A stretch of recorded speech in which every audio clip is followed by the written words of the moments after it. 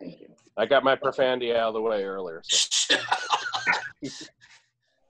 All right, thank you. we ready, Kathy? I am, thanks. Okay. Well, good morning, everybody. Thank you so much, and uh, welcome. This is a historic occasion, uh, PAMA's first uh, virtual uh, monthly meeting here, and we appreciate it. Um, just a, a, a, a few uh, announcements.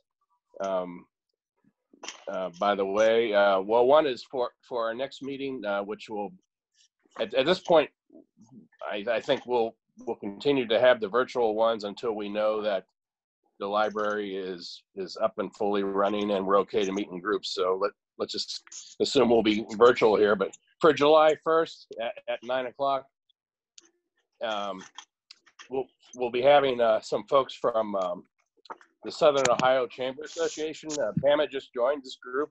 It's a really cool group. Uh, many thanks to Curtis for connecting us with them. And uh, what amounts to is by Pama joining this group, and there are no, there are just a bunch of other uh, Chamber of Commerce in uh, Central and Southern Ohio who are who are involved with this. Uh, people who are PAMA members can get access to discounts on just a, a, a variety of different kind of services uh, from um, things like you know healthcare to uh, HR to just all kind of things for your business. So we're going to be rolling out more information on that, so you can take if you if you are so inclined, you can take advantage of it. But main, sure main thing is to make sure people are, are aware of what's what's out there. So benefits from uh, being involved with PAMA. So that's coming, and then. Um, want to thank uh, very much uh, uh, Carly Boost for being willing to uh, be our chair of our uh, communications committee.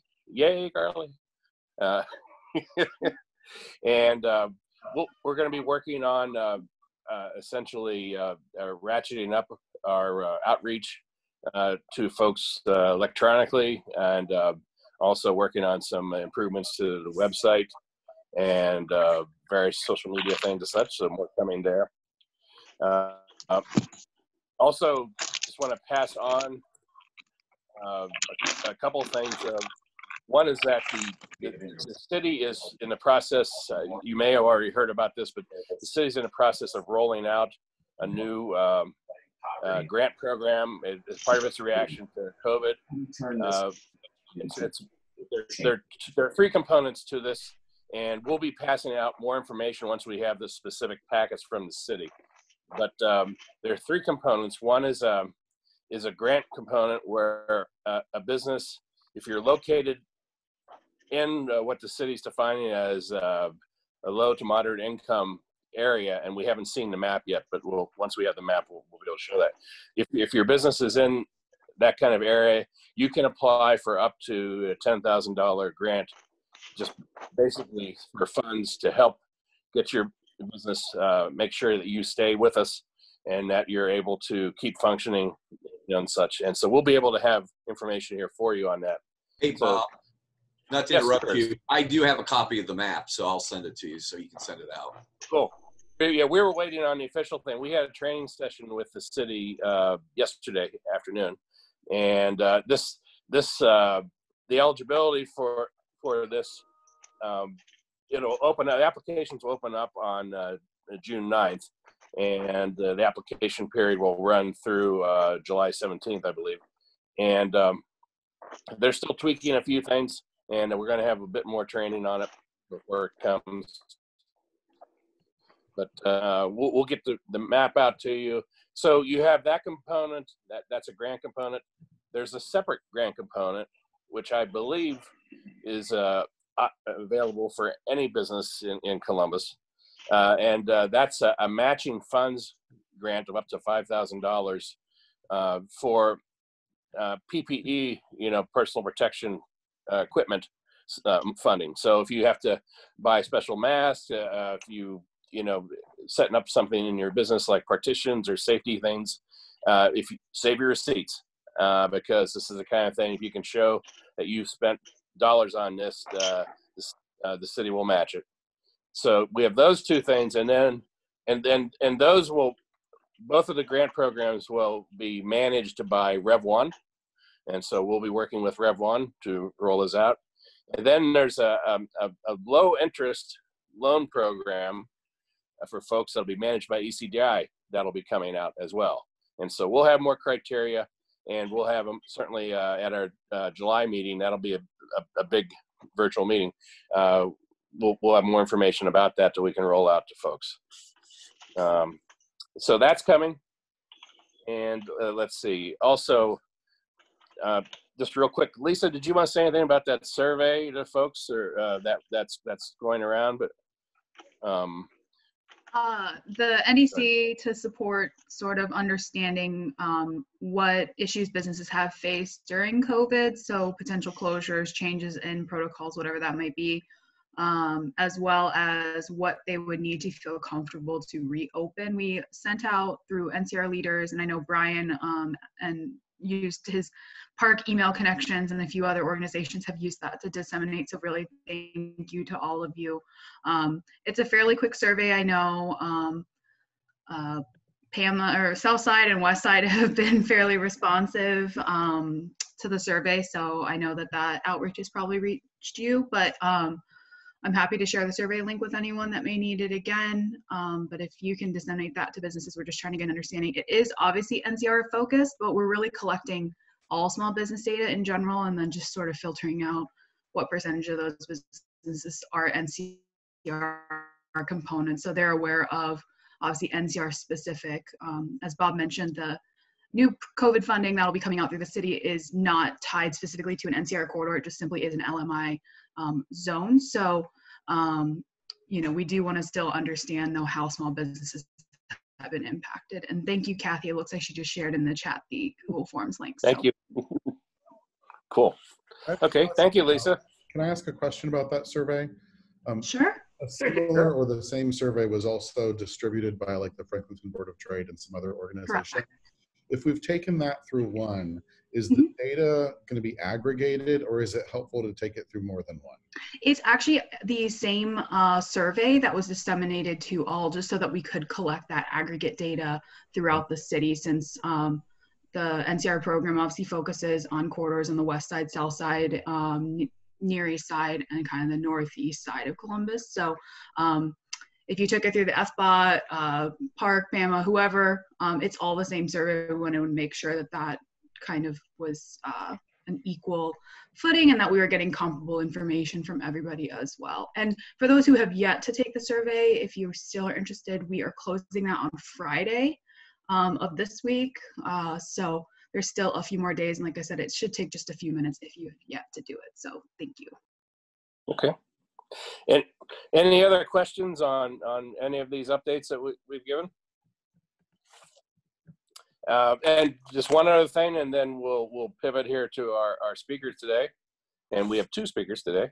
Um, but one other thing is that if anyone is aware of any businesses in the NCR corridor or, or really elsewhere that have been uh, in South Columbus that have been uh, damaged uh, by the protests that have been going on, uh, just related to the issues of uh, police brutality, racism, just you know all the turmoil that the country's going through right now.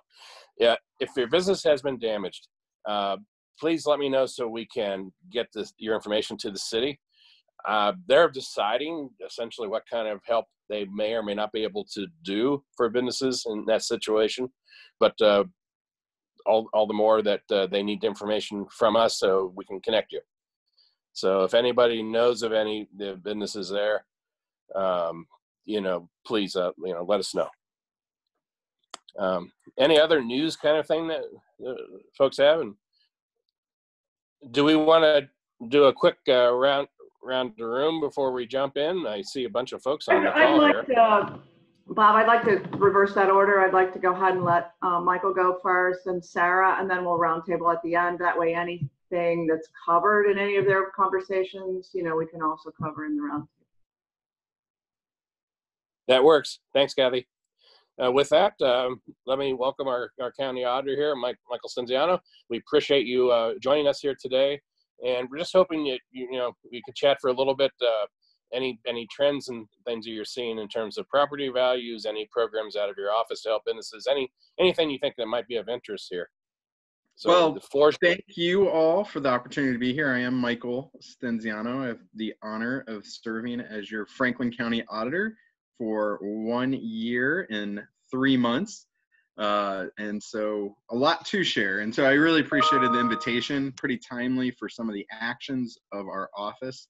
Uh, and so appreciate the opportunity to provide that update. Do you want to start. I hope everyone is healthy uh, and safe uh, during the COVID. I know it has it had a big impact on our community, and then within the last week, uh, with the protests, um, really providing an opportunity for our community to come together, uh, collaborate, and hopefully be a better city and community as a whole. Uh, so, starting from that, um, you know, when the governor issued his executive order uh, that essentially shut down a lot of you all and a lot of the state of Ohio. Uh, some of the functions of the auditor's office were deemed as essential, and so we have been open. Where the county building was closed, our transfer and conveyance, so um, where properties come in and be processed through our office, uh, was deemed essential. And we also serve as the fiscal agent um, for the county. And so I'm popular when people get paychecks because my name's on all their checks. Uh, but those services had to continue as well. And so we've been open. Uh, with the building being closed to the public, it was very and remains very challenging to establish social distancing protocols uh, when people need to get on elevators to go to floors 19, 20, 21. Uh, but we've adjusted. Uh, there is a drop box for anyone that needs to conduct business directly with their office. Obviously, you can use email or pick up the phone uh, and call us, and we are ready to help however we can. Our office typically has 125 employees. Uh, that was scaled down uh, to about 16. Uh, we are slowly, as projects and priorities continue through our policy calendar, ramping up. Uh, but we do not anticipate having all 125 people in the office for the foreseeable future. Uh, the office has done a great job of figuring out how to telework. Um, that was a challenge, I think, across the entire county, uh, where there were capabilities in place to have it all go online so quickly. Uh, our data center really stepped up. Uh, but some of our functions with the Board of Revision, so individuals that have uh, challenges regarding property values, uh, are now being held virtually, uh, and we continue to do our mediation program also being done uh, online or by phone. Other news to share that the treasurer's office sought to extend the deadline for second half property taxes. So that would have been due in June. Um, because the treasurer's request was over 30 days, it required the auditor's office to be a signature. Uh, so the extension for second half property taxes is August 5th. Uh, for those entities that can pay or if established through an escrow, feel free to pay ahead of time. Bills will be sent out next week, is our understanding. Uh, but that kind of keeps the system, for lack of a better word, chugging along. Uh, by having the bills uh, sent out, that allows the auditor's office to release what is called advancements to local municipalities so they continue to provide services. Uh, townships, for example, were very concerned when they heard there was going to be a 45 delay, 45 day delay, uh, that they were not going to be able to be fiscally prudent, uh, provide safety services, trash collection services, um, if everything was delayed 45 days. By, by having the advance process already exists in law, uh, we're able to get them 90% of the dollars that come in. So, for example, there's 50 million uh, that has pending from the end of first collection into second collection. We just needed those bills. But the good news for you all, or for what you probably want to hear, is that August 5th is when the deadline for the second half uh, property taxes. We're getting a lot of emails asking, "Where's my bill?" Auditor's office doesn't send the bill out. It's the treasurer's office. The treasurer's office is also the one that you write the check to, not the auditor's office. Um, but we were happy to work in collaboration with the treasurer to establish that August 5th uh, date. And it had to go to the Department of Taxation for their ultimate approval, uh, but we got it done. For entities, though, that were August 5th isn't sufficient, uh, there are a number of limited programs to aid uh, folks on property taxes. Again, it's housed through the treasurer's office, but the auditor's office happy to provide that information. You can establish payment plans uh, with the treasurer's office. There is also, unfortunately, government form, but a form uh, to seek penalty forgiveness. Uh, it's called 23A, uh, and the information's both on her website, and we're happy to provide it as well. Uh, and then if you know anyone uh, on housing property, our office does maintain, although through a board, the Property Tax Assistance Program. It's called PTAP. Uh, it's one-time emergency aid in limited circumstances uh, to low-income homeowners, uh, and they can apply contacting the auditor's office. PTAP has been around for a while, um, over a decade. A lot of people haven't known about it, and it was housed in a different county agency uh, that we took over primary responsibility uh, in my one year and three months. And so trying to highlight and let folks know that there are those resources available. Any questions on property tax? I think the only ask, um, Michael, is um, if you could just send a follow-up email with some of those links, and when we send out the notice of the recording, uh, plus any other, you know, business that we need to send, that we can, you know, include those, if that's all right. Great, happy to do that. So the Thank big thing, I have a question. yes, sorry. Can, uh, this is Jason Hoddle with Modern Columbus Realty. Can you give us an update on the triennial reevaluation and what efforts have been made and what the results of those were? Sure. Wonderful segue. That was going to be the next part of the presentation uh, and comments. Any questions on property tax extension before? Okay. So then let's talk about the triennial uh, update. So that's been the biggest priority in terms of planning that the office was conducting. Uh, for those that aren't familiar, under Ohio law, every six years, we, the auditor's office, counties are required to do a mass appraisal. Uh, that mass appraisal means the office and appraisers that we usually contract with uh, go out and review every property. Uh, then everyone goes through, discuss what's the right property value. Uh, in a three-year gap of that six years, we have the triennial update, and so that's what we were are in in 2020. And that triennial update is a three-year look back, so looking at years uh, 17, 18, and 19 on terms of what property sales trends are occurring. Uh, as you're all aware, Columbus and Franklin County has been a very hot market. Uh, and so when you're looking at 17, 18, 19, you are looking at a large um, valuation increase where housing stock is not what it needs to be as our county continues to add population. And so prices have been awfully high.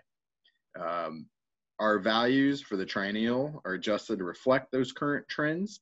And uh, what the good news is, is you do want property values to be going up. That's a large investment, probably the largest investment most homes or most uh, individuals make in their lifetime. And so that value is a good thing.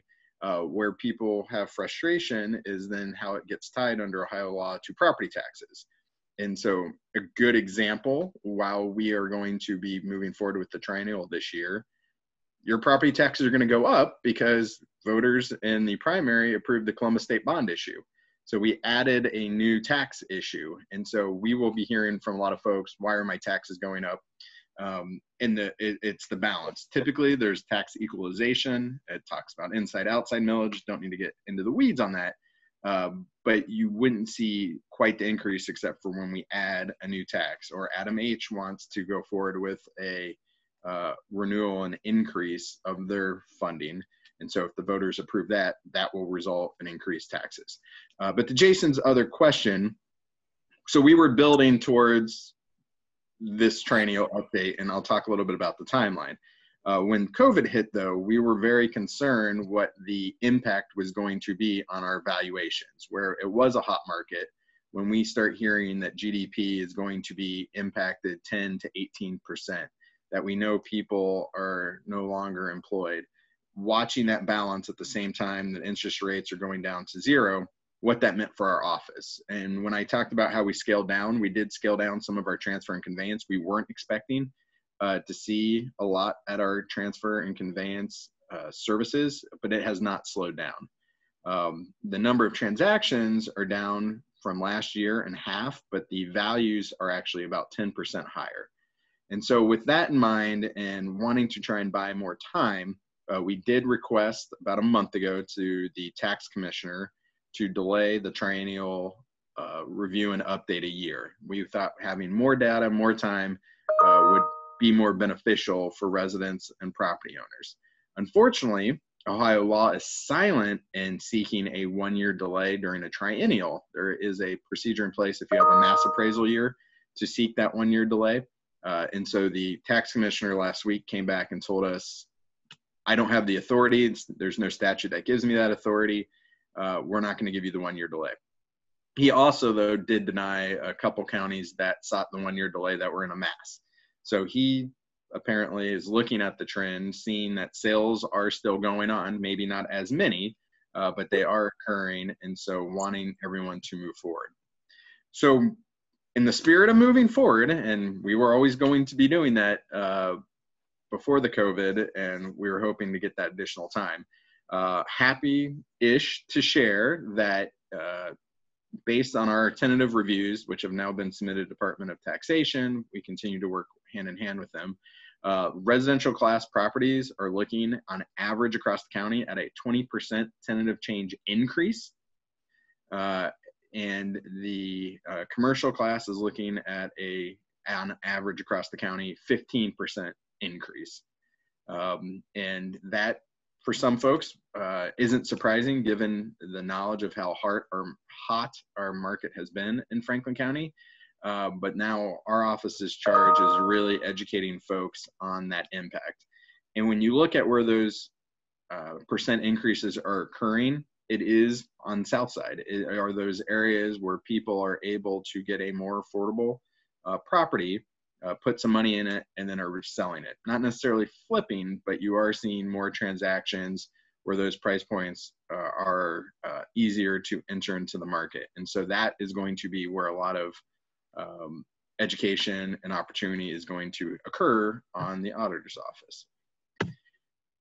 What then the rollout of the trend, tentative triennial value is going to be is in August of this year, all property owners will receive the tentative value mailer. We are going to be announcing uh, later this month our Know Your Home Value campaign. Uh, at the same time, we will have a uh, education component for commercial property owners uh, of saying this is the value based on that look back that we uh, have appraised the value at. Again, looking at 20, 15% increase depending what class you fall into. If people are happy with that number and don't want to do anything further, they don't. Uh, they they can stop uh, in terms of available opportunities.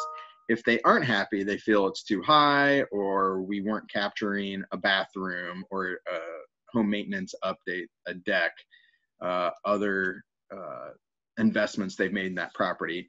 Uh, we will be having our uh, informal review process, and that is where property owners have the opportunity to engage the auditor's office and our appraisal staff on where they think the value should be, bringing in documents of recent sales, uh, comparable sales, other information we may not have or missing uh, that should be taken into consideration for that value.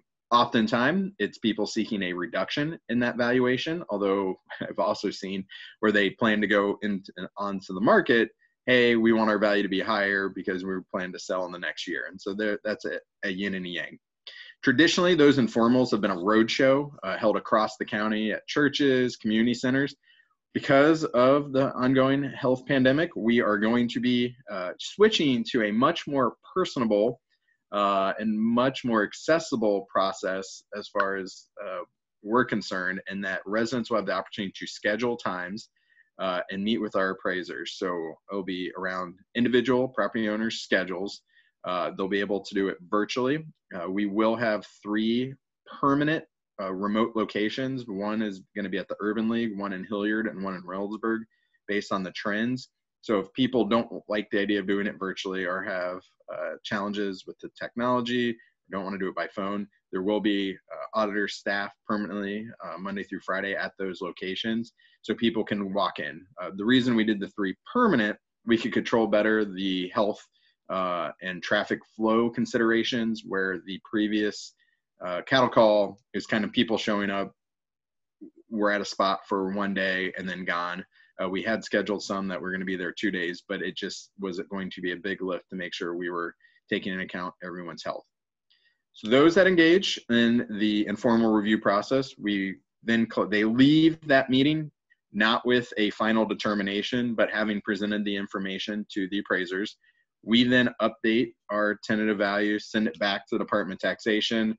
They come back and finally sign off. And then in December, final values for those that engaged uh, in the informal or any properties that had a change are then provided. So that's when that final rate occurs. Again, if you didn't do anything in August, you should see that same final rate in December. Uh, but those that came through uh, the informal process, uh, we update accordingly. And it is then those rates that will be used for tax bills uh, for the next three years. Uh, our tax bills are a one year look back, so they'll be used for bills 21, 22, 23, but looking at 20, 21, 22 gets kind of confusing uh, in that regard. If people still aren't happy with that rate, then they will learn, and we'll talk about it in uh, December, the board of revision process, uh, which is another bite at the apple that always exists between January through March uh, to file concerns. And that's where the board of revisions, as I mentioned, is occurring, and we can set up mediation uh, as well. Uh, the big thing to educate folks on, and hopefully your takeaway, is those value appraised increases. Uh, for commercial, 15%, for residential, uh, on average, 20%. So average means some communities will be higher than that, some will be lower, but everyone across the county was going up. And then that we are asking people uh, to please work with us um, through that informal process. Residents, property owners have a huge role to play uh, in making sure that we are establishing the correct value. And so, looking forward to having their engagement and working through this new process um, that a lot of residents haven't had the opportunity before in terms of being virtual uh, and uh, scheduled around their time. Uh, but we're looking forward to utilizing that and making it a more efficient and thorough process. Questions on the triennial? Threw a lot of information at you. Jason, you got any questions on that? I do have one question. Yes, sir. We have, I have some homeowners and some investors who have properties that are currently being renovated. And I don't, I know this isn't administered by your office, but hopefully you can help. Um, if they are intending, you know, the, the tax abatement program has drawn them to these areas. If they are intending to submit a tax abatement request, that only changes the renovated value. Is there a deadline for which they need to get phase one in to lock down the current value, or how does that work? So that's one thing we have not established the date on in terms of if you went through the board of revision, at what time does it get set? And and the next thing I'm going to share also we're factoring in. So I would encourage them to contact us in the next month. Um, in June, and we can work and kind of establish what we feel that rate should be so it holds through this entire process. Okay. What, so I guess you're going to decide if it's, if they come in after the, the initial proposal in August or if it's after the final, is that what the question is or? So the question, I, what, if you went through the board of revision process last year, and so we came back and said instead of it being 250 it should be 225 or you went through mediation i am challenging our staff that then that 225 needs to hold as our tentative value for the next look back yeah. and, and that's traditionally that hasn't been how it's been done they just again yeah. look at the spreadsheet um, i just wanted to use the restroom before i hit the road thank you the so so I I'm not sure if that's the same question I'm asking. Okay. I'm talking about the tax abatement program. Right. So if I if I file for tax, I'm I'm, I'm currently renovating a house. We have final permits. This this is a personal I'm renovating a house. Um, I have we're we're getting ready to close the final permits. We're getting ready to submit the tax abatement package. Is the tax is the current tax today? the number that we'll start with, or will at what point will we be starting with the revised number? Is that after August? August. Number.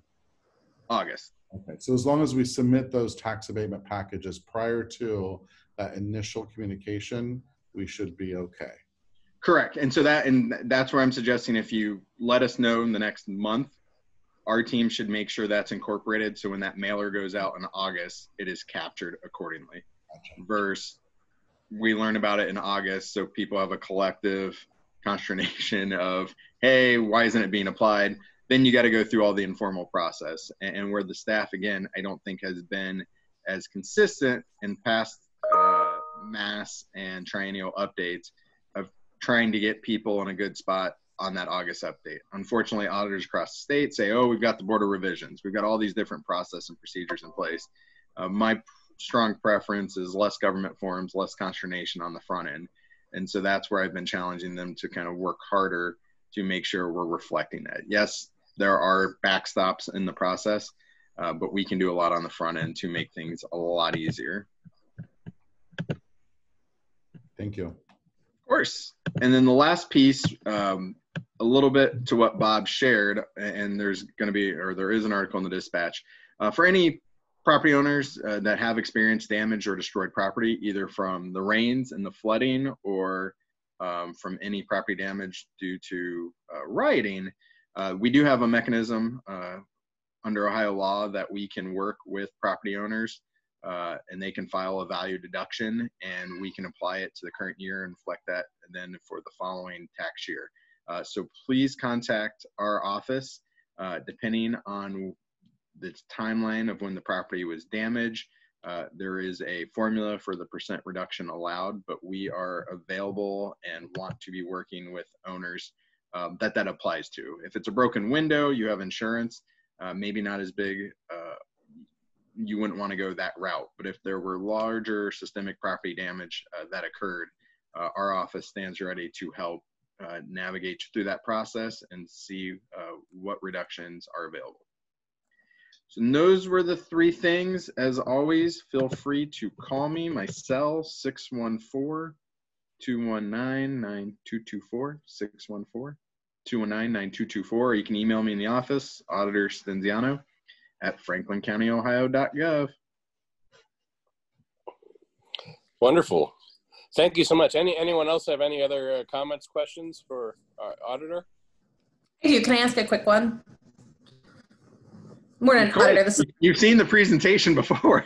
I have, but it was something that I, I was taking notes last time and didn't pick up on. Um, the three permanent locations for the informal review, Hilliard, Reynoldsburg, and Near East, did you say that that was tied to where you think the increases are going to be the steepest, or do you have an idea of which neighborhoods are going to be um, the most scared? So I'm, I'm pulling up the spreadsheet that we created on school districts. Um, and of course, when I start touching it, it gets so Columbus sees one of the largest increases um, Jonathan Alter, Whitehall, uh, Reynoldsburg. And so we were trying to spread it out, making it convenient. Um, we were always heading to the Urban League. We recognize our building is not the most accessible nor desired location. Um, so we said we're open, you know, pay for parking, hike through security, hike through uh, floors to get to floor 20.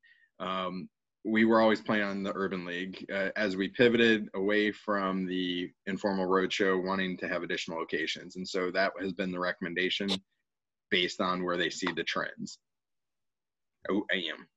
Would I love to be in every neighborhood? Absolutely. Um, but in terms of resources and where we expect to see folks uh, come and, and, engage, and you know, uh, what's been disappointing looking at the past statistics uh, it has been the Dublins, the Upper Arlingtons, uh, the suburban communities, and not necessarily within the city of Columbus. And so that's our staff's challenge to make sure people are aware uh, that they have a great opportunity, a role to play. Uh, when we gave the presentation to the realtors, they said, you know, how do we encourage our clients to fight with your office? I was like, this isn't a fight. Uh, we need their information. We uh, the process is established so that they have a role uh, and we're taking that responsibility very serious. And I think that traditionally the auditor's office has done a good job with the informals. It is not required under Ohio law. Um, not all counties provide this. Um, I would say the vast majority say go come to the board of revision, fill out the government form, and, and we'll get you through the process. Um, so our residents really do have a great process in place. They just need to take advantage of it. And we will be sharing some of the statistics of if you do come to the informals, what that reduction has meant. And we are having the conversation of overlaying it uh, with our demographics of the county of who have come in the past. uh, because you know 20% is a big increase. Uh, again, it's a it's not a bad thing to see that value uh, increase. You want to see those values, uh, but we know we hear from a lot of folks. I'm being property taxed out of my neighborhood. Property taxes continue to go up. Uh, what more can we do? And, and there is a, another conversation on legislation, uh, what changes we could do to Ohio law, but don't want to bog you all down with that today. Okay. Well, I think you. there's something really inclusive at the Urban League, and I appreciate that too. Thanks. Of course. Thank you. And any other uh, uh, questions? Thank, thank you very much. You're welcome to stay with us or not, uh, depending on how your schedule works. What- but, uh, I, I need to that. go support a small business for my community, my virtual community hours. So I am not going to hang on, but uh, please uh, join anytime uh, the virtual community hours. For those that aren't familiar, I do weekly community hours, traditionally a coffee shop uh, or at a library. Obviously, uh, as we are just beginning to be able to have sit down service, uh, Yeah. we've invested in those virtually. Had a great opportunity to support community grounds uh, on one of those during the last two months. Uh, but we're trying to hit every township, uh, village, and so I'm heading to uh, Nothing Bundt Cakes in a township. So No, always an interesting dynamic in that regard. Nice. We'll, we'll meet you there. Yes. All right, thanks everyone. Thanks. Take care. All righty. Um, Sarah Linke, who's with us uh, uh, today, uh, she uh, and many days uh, uh, leads up the efforts for the Southside Thrive uh, Collaborative, and uh, has been a partner with us as we've tried to help promote food businesses and other looking for other ways to sort of have mischief uh, and and help support our businesses. Uh, Sarah wants to uh, uh, would like to give folks a little update about the census, and if any other topics, feel free. Sarah. Great. Good morning, everyone. Thanks for letting me be on your agenda this morning. Um, I'm Sarah, like Bob said, with Southside Thrive Collaborative. We are really a network of 40 plus different uh, nonprofits, businesses, and community groups trying to come together to support Southside residents, um, really by leveraging all of our strengths and uh, the various efforts uh, groups have going on. Um, I just wanted to take a moment and remind everyone that the 2020 census is happening. Um, there is obviously so much going on right now um, between COVID and the social unrest our communities are experiencing. Um, and so just wanted to take a few minutes to remind you that the 2020 census is happening right now. Um, if you haven't already, please go online or you can complete it by phone. And as business owners, I really just wanted to invite you to help get the word out about the 2020 census. Um, I know that PAMA and your businesses already probably use a lot of the data that's gathered through the census to inform, um, well, one, your location in the South Side or other neighborhoods, and two, your marketing and promotions um, that you do to drive business. And so, really, it's an important opportunity to count uh, and gather demographic data uh, within the community. Um, we at Southside Thrive are working to do a couple of things that we also invite you uh, to join us in. Um, we are going to be hosting next Wednesday at at uh, 5.30 i kept thinking it was 5 at 5.30 we're going to host a virtual session just to really kind of answer we know that there's some trepidation with some people about filling out the census and the privacy concerns so we're going to host a bit more of a detailed information session so if you or others you know want to join um, welcome you to participate um, i also can provide you i know that um, people are in different phases of being open to the actual public but if you need any marketing materials, whether for social media, your websites, or um, we have a nice little half sheet that um, you know can be physically provided to customers or other people you know. Um, let me know. I'm happy to help provide you those resources to make it easy for you to get the word out. Um, and then something else that we're doing, but um, it's been a bit delayed. We're trying to figure out when we'll actually do it. But is a social media campaign, just really trying to um, use the hashtag Southside Counts and encourage people to post on their personal accounts, um, their their business accounts. You know, get get get the census done. Um, as far as I know, the field operations here in Columbus are supposed to start here in June, um, but I haven't gotten a lot of communications recently from the city, who is the main U.S. Census liaison, or the county, um, and so that was delayed, obviously, with COVID. So people probably in June, I would say, it, starting in July, uh, very likely will start having people come to their residences and saying, uh, you know, you haven't completed the census, so please do so.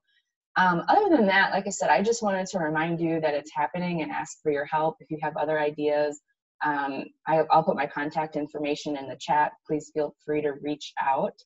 Um, and I did just kind of want to also dovetail two other updates that I think this group might be interested in.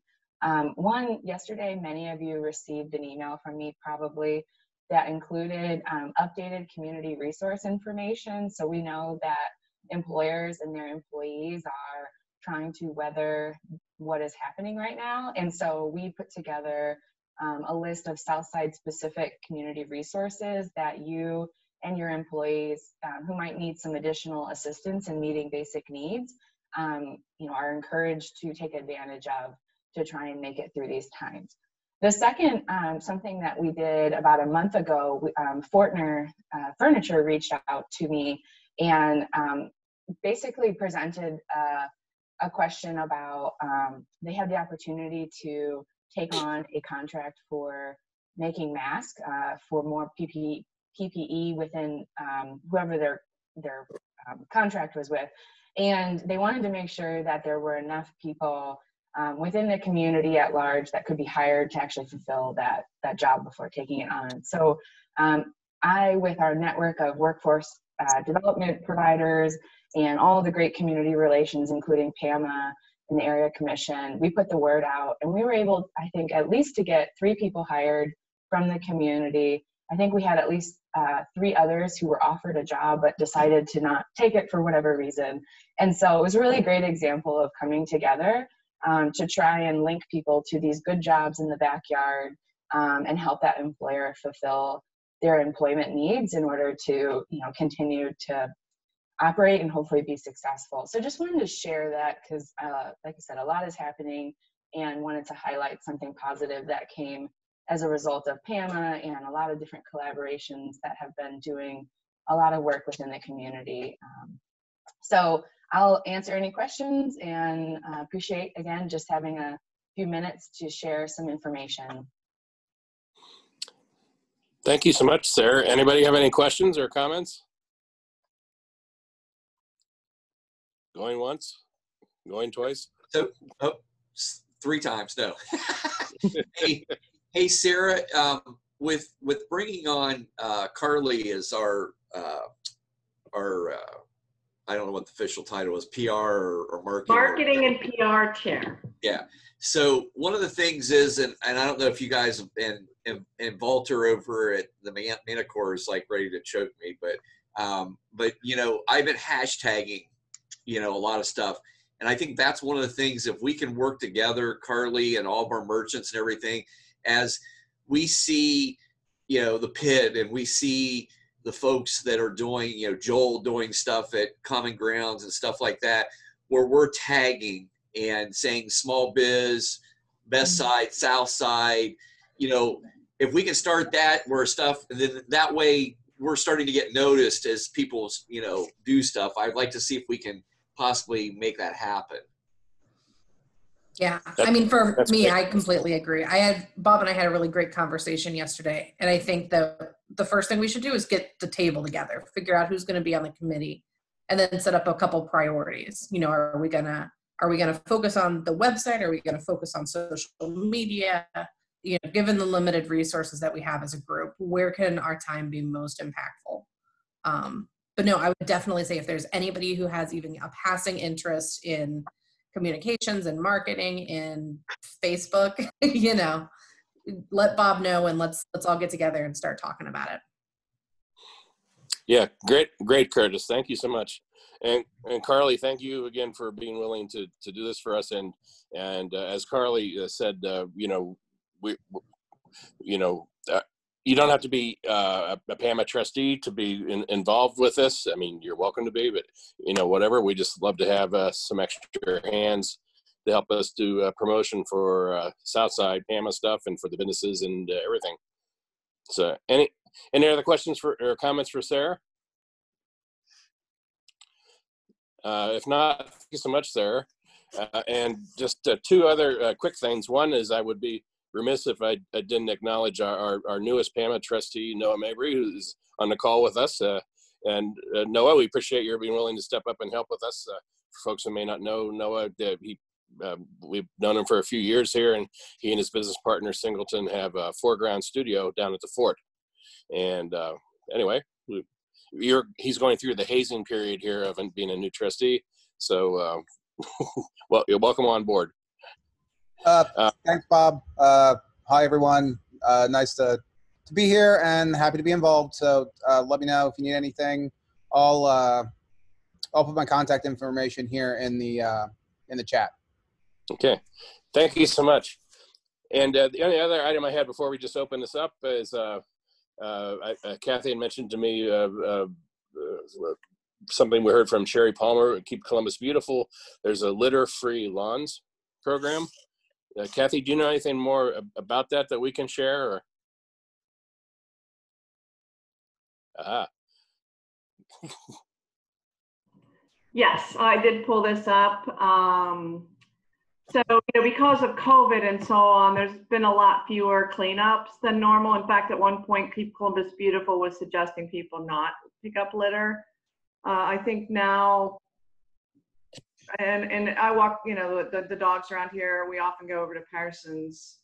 Um, there, there's you know quite a bit of litter accumulating um, in various places. So either way, you know, there is an encouragement now to to to kind of help out, right? And so there's a pledge uh, here, and I'll drop that link also uh, in the chat so, you know, obviously we encourage our own businesses to be um, to be keeping their own properties clean and, you know, obviously our neighborhoods as well. So. Great. Th thank you so much. This is great. All right. Uh, any any comments, questions on that? Anybody? Uh, if not, uh, just open it up for anything that anybody wants to talk about today. So, hey, Bob, I wanted just to let everybody know tomorrow, um, council has reached out to me or Emmanuel Remy's office, uh, and I'm going to be testifying uh, about the uh, two ordinances that the city council has for the $5.5 million loan and grant program. Mm -hmm. so I just wanted to let everybody know I, I will identify myself as a commissioner, the VP of PAM and everything, but just to be transparent so folks know so someone doesn't freak out and say, God, what's he doing? Or, or something of that nature. But obviously, I'm, I'm, for it. I, you know, I think this is awesome that uh, they're able to engage and, and put that money out to uh, these individual businesses. Absolutely. Th thank you. Thank you, Curtis. We, we appreciate that. And that, that'll be something that'll be included in the update uh, that that's a, that's a virtual public hearing. That'll be tomorrow at 5 p.m. Uh, using a WebEx link and uh, yeah, this is a good program. This is this is what I was referring to early on in the meeting. So it's it's good stuff, and you'll be hearing more about it. Uh, other announcements or things you want to talk about today? Anybody? Hey, Bob, it's Nancy. Good hey, morning. Nancy. Uh, I have a couple things. First of all, I'm thrilled that Sarah is promoting the uh, census. We all know how important it is to be counted, and with regard to what we receive from being counted as a community. So it's very critically important. Some of our new Americans are challenged with that because they're afraid of uh, all kinds of negatives from the census. We want to encourage everybody that's separate database. It's not shared with other federal agencies. And so it's really important uh, that we get everybody's uh, voice heard. I also want to remind everybody that we have a council community meeting Southside virtually on Tuesday the 9th at 6 to 7.30. And for those of you who aren't familiar, our council community meetings usually began with Council President Hardin introducing the council members, and then you would go to everybody's table or different tables to talk with the council member as well as some representatives from the department for that department like utilities. This time we're having a virtual meeting and uh, uh, you sign up for a Zoom room for a council member. If you don't have that information, I'll send it to Bob uh, again, but I'm sure everybody's seen it and uh, we would love to have you participate. It's real, it would be really helpful if you would pre-register. And uh, finally, we want to encourage everybody and their families to register to vote. We don't know exactly what our voting situation is going to be this fall, but it's important to uh, uh, register with the Secretary of State as well as to confirm you're in the database. So that's all I have. Um, everybody should know how to contact me. I'm Nancy Pryor Selly. I'm with Community Engagement for Columbus City Council, and um, I have the best side. I have my beloved South Side. So that's all I have for this morning, and I'll put my contacts in the chat.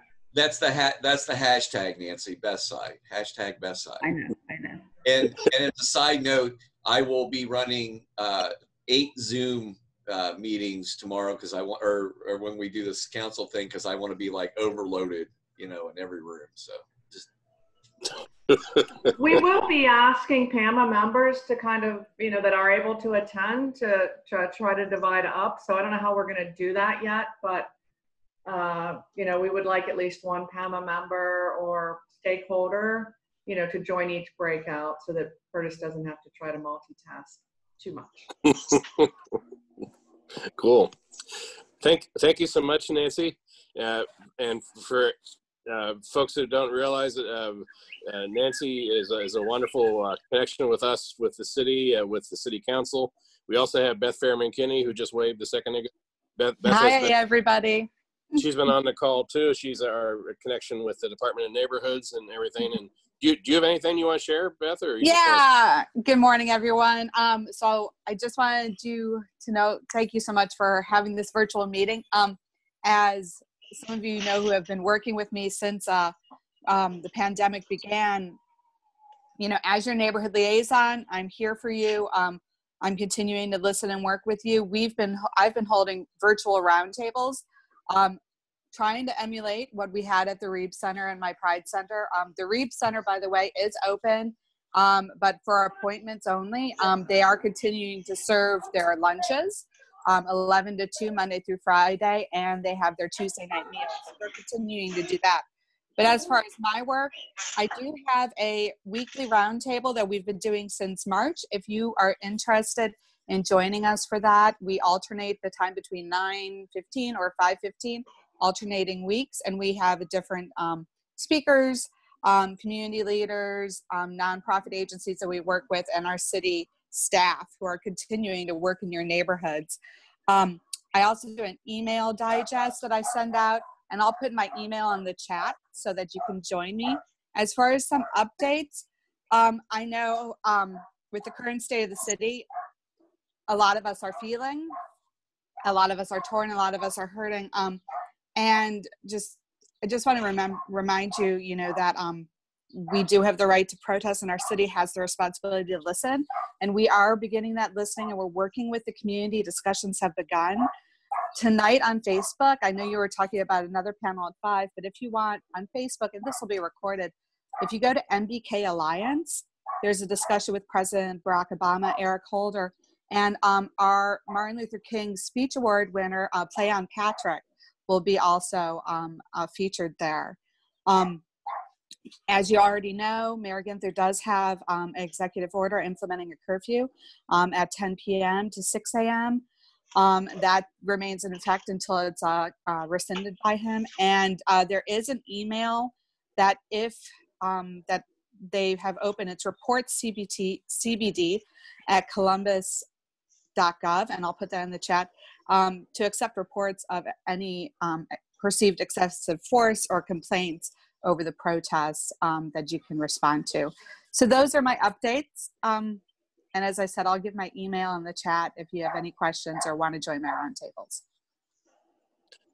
Beth, thank you so much. Thank you. Uh, any any questions for Beth or comments to anybody or or any other topics? Uh, uh, Carla, are you are you still there? Did you want to say anything about scholarships or anything? Hi, So you can run, but you can't. no, no, I was trying. I got a phone call and I just I said, hey, you know what? I know that they're about to wrap up and I have a feeling they're they're about to say my name. So let me call you right back. Um, you know, just wanted to let everybody know that we did um, select two recipients for the PAMA scholarship. Uh, I'm in the process of being able to um, work with uh, Park, our fiscal agent for the scholarship, to be able to um, cut the check for those awardees. Uh, everybody will receive uh, just a small biography. I'm also waiting for um, two pictures of the, each of the individuals, just to be able to, for you to be able to put um, a face with their um, biography. But just to give a little bit of background or just an individual. So the first recipient, her name is Simone Boyd.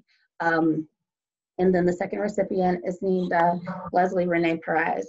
So each of them will have just um, a little bit of who they are and then um, a snippet of their um, essay that they each answered, which were both very um, compelling. And we had a total of four members of ours participate in helping us be able to uh, choose them. So just wanted to give that small update. And like I said, you guys will be receiving more information soon. Okay. Cool. All right. Thank you so much. Thank you, Carla. And uh, Carla referred to uh, us being, uh, or uh, to uh, Park being our, our, our fiscal agent. We have Mr. Park uh, here, uh, Brian Higgins. Uh, for folks who don't know, uh, uh, Pam and, and Park like to partner together. Oh, there, there's Brian's kid. He has a hand up. He has his hand up too, so let's let Brian have some conversation. I did. I'm very, I'm very polite. And and plus you have that shirt on again. You know that shirt is repeat. This is You my, did not do that, Tim. This is my Zoom shirt. I wear it, you know, 20 minutes a day, and I keep it next to my desk so that you can't tell that normally I just sit around in a tank top all day since March. um, I wore pants the other day too instead of shorts. That was a big, that was a big moment for me. Wait, we're happy that here that you wear pants, Brian. Well, you know, I'm just glad they still fit after sitting around for so long. You know. Uh, hey, thanks for for um, uh, acknowledging me. Um, yeah, we're Park is happy to serve as fiscal agent again for the scholarships. Um, I think it's it's a great thing that that uh, PAMA does, and we're happy to be, you know, supportive as as such. Um, I also wanted to give you guys uh, uh, just a quick bit of information. Um, I attended virtually last night the Schumacher Place Civic Association meeting where I, I shared, um, you know, Park owns two single-family homes at 921 and 923 Parsons, which is the corner of Stanley and the southwest corner of Stanley and Parsons. And um, we bought them; they were vacant. We renovated them. We've been leasing them affordably for a couple years. Uh, but as I started to think through, um, you know, maybe uh, maybe that two single family homes on Parsons isn't the highest and best use for that real estate. So we started to explore what it might look like to have uh, multifamily housing on that site, maybe a little bit of commercial space. Um, our goal would be able to keep those units affordable to people. I'm not exactly sure what that means right now because it's a function of costs and we're still very early in a conceptual design process. But I went to the Schumacher Place meeting um, really just to get thoughts and input and hear what people had to say. And frankly, I'd like to do the same thing with PAMA. So after we all get off the Zoom here, um, I'm going to shoot out just a little um, uh, little information packet that I, I, put together with our architect, um, just to show you, uh, you know, basic renderings, concepts, floor plans, parking. Our idea also is to work with Community Development for All People to um, a allow us to use their trash area where uh, you know next door at the um, All People's Market. Maybe we'd add an additional dumpster, uh, but they kind of have a trash nook area over there that we could glom onto. And then there's um, maybe we could access some additional parking. You know, there's the lot next to the what was the post office, I suppose. Um, and you know, there's a little green space there on the eastern edge between the pavement and and the sidewalk. So we've thought about like if we pave that additional 12 feet or so, it would give us the opportunity to put in a, a whole secondary row of parking. So uh, which you know could then benefit us as well as them, and frankly anybody who comes to the intersection of Whittier and Parsons, which was the intent of having that public parking to begin with. So, um, just wanted to give you a little um, broader scope of, of what we're thinking about. And so, Hey, like I said, Brian? Shoot. Yeah, yeah, no. Hey, is is that what you were working on with Amanda at one Uh, time? yeah, yeah, yeah, yeah. Okay. Um, if if there's anything that uh, we can do on that to help out, we'd be more than happy to. If there's you know any room for us, so just let us know. Yeah, that'd be great. I, I'm sure there's always a uh, LA kind of element, right? So, um, so thank you, and uh, Yep. happy to hook you up.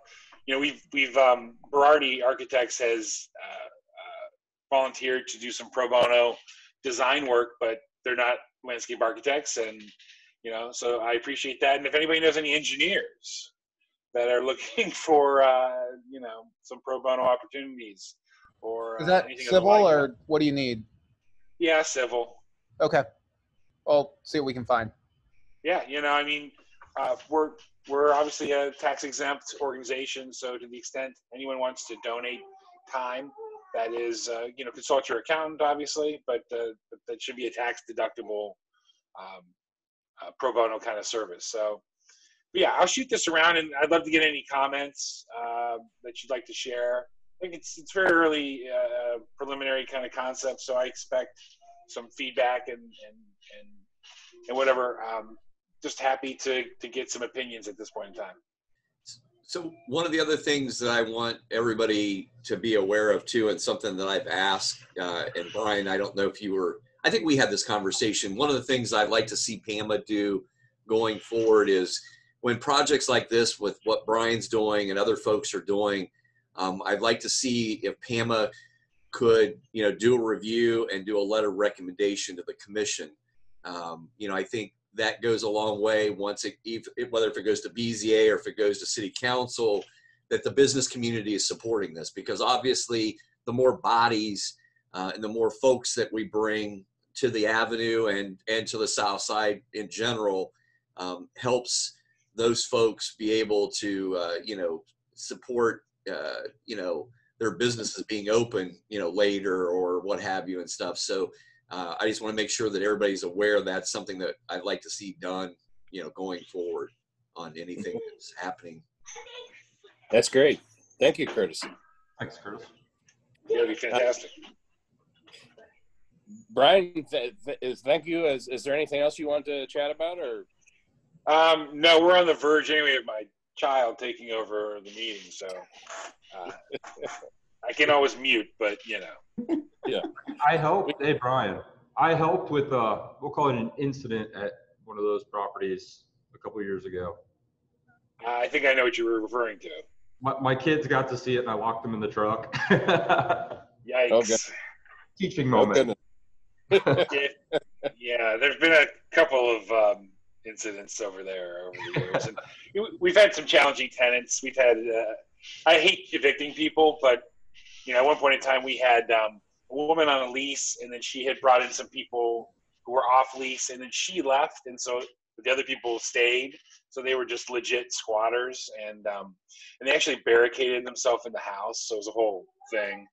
Um, and Yep. then there was a, a tragic incident, and there were some other things. And um, but yeah, I, those houses, uh, you know, are 100 years old at this point, and and and they kind of look at they're sitting in front of a bus stop, which even though I've power washed them, it doesn't really help the perpetual Yeah. grime. And uh, I, I I would love, you know, I think to Curtis's point, um, you know, we're talking about, you know, right now our plan calls for 16 units, and that's 16 new households, you know, that um, a may or may not already be somewhere in the south side, but it can come and hopefully have a positive experience, be consumers for businesses on the avenue or elsewhere within the community, and you know maybe um, transition into homeownership or or whatever. You know, like, that's kind of how this works, right? You you try out a neighborhood as a renter, and then um, you know if the stars align and, and the economics work, then maybe that's that's where you end up buying and, and settling down. And so, yeah, I, I, whenever there's an opportunity for that to happen, I think it's it's a positive thing. Cool. Ethan uh, Tamanika lives catty corner to that property, and I know when I discussed it with him earlier, if you want to reach out to him, he's in general supportive of the idea you're presenting. That'd be great because there was some concern at the Schumacher Place meeting about the scale and how that would impact or impact the some of the residents on Stanley. And, and I said, well, yeah, everything's kind of east of the alley here. I'm not sure that it would impact anyone at all, but you know, people are very, I think, um, you know, maybe overly mindful sometimes of, of how it can concern people, and which is great. I mean, I'm all about um, uh, folks who who want to be judicious and when they're making decisions. But but uh, but yeah, to the extent that there are actual neighbors who think this this could be a positive, I'd love to. Maybe we can talk offline, Aaron. Yeah, be happy to. Cool. I live within a block, so I'm, I'm a positive. Thank you, Kathy. I want five stories. Thanks, Karen. Oh, no, no, no, no. And any other topics that anybody wants to talk about today? Yes, no? I just want to add do you have any- my, my, my comments. I mean, we don't, we have not, as PAMA, uh, produced an official statement, but uh, for the number of uh, trustees and others that I've spoken to, you know, we 100% do support the protesters. We do recognize the systemic racism within our governmental entities. Um, and, you know, we're asking for an accelerated change um, that, that's absolutely required. We also care about all our business owners and all of the difficulties that you're in right now. Um, and anything we can do to help, you know, please let us know. I'd like to add to that. Uh, thanks to Curtis, uh, maybe some of you have seen an email he sent out addressing some of those issues that we hold here on the south side. And I think he's going to help trigger some important conversations that need to be had. So thanks, Curtis. Thank you much. And any other comments, anybody? And and Kathy, maybe we can coordinate sending out the updated information. If you send me stuff that you'd like to have in it, I'm happy to send that out. Whatever works. Anything else, anybody? Sooner the better, because some of these things are timely um, updates, right? So. Yep. Thank you all. We'll, uh, Hey, quick question. Are, are we posting this stuff? Oops, sorry. oh, sorry, Curtis. Well, and Jason chimed in. Jason, had- Jason had a question. Okay. I was just trying to see if there was, if, if an update had been given about Realtor Care Day and how it has transitioned. No? I- I actually listened to the realtor folks last night at the Southern Orchards meeting, but Okay. I didn't think anything about that. I'm not on the Realtor, I'll, to be clear, I'm not on the Realtor Care Day Committee, but I am a trustee on the board. Uh, So I'm fairly familiar with it. The original plan, which was pretty robust to work on individual houses and the neighborhood cleanup and various projects, which was originally scheduled for June 6th, um, was obviously canceled for appropriate COVID reason. There has one, there was one main project, which is building a community garden um, for Ronald McDonald House. And that project is moving forward with a very limited number of volunteers. Most of the volunteers are um, Columbus Realtors leadership. So it's going to be those of us who are on the board and, and um, some other folks. But instead of a one day, hundreds, actually thousands of people all over central Ohio, um, it's a much more, you, you'll see much more limited groups of realtors doing um, projects throughout our communities. And for the south side, it's going to be June 10th and 11th, a small group, appropriately spaced out, um, building that building that garden. So happy that we're still able to, as an organization, contribute. It just has to look a little different this year. Remind me, Jason, there's also a Master Gardener um, work day at the Fruit Park on Saturday, and they are not looking for additional volunteers for kind of the same reasons. Um, you know, but there will be opportunities going, you know, forward. So thank you. So, Bob, uh, the question I was going to ask is uh, Mhm. like with these Zoom meetings and stuff, let's make sure that they're also put, put up on the website just so if those Yep. folks that couldn't attend uh, can, you know, log in and, and see what the discussion was and everything, please. absolutely. I know uh, Start a, a YouTube channel for them just because it's an easy place to host videos. Yeah, I think that would be smart to do that is to get a YouTube channel because you can also, can't we link the Zoom to the Zoom or to the YouTube and it just feeds it over? Yes, you can convert it to MP4 and just upload. That way, Bob, you just, once we get it set up, it's, it's done. Yeah, that's wonderful.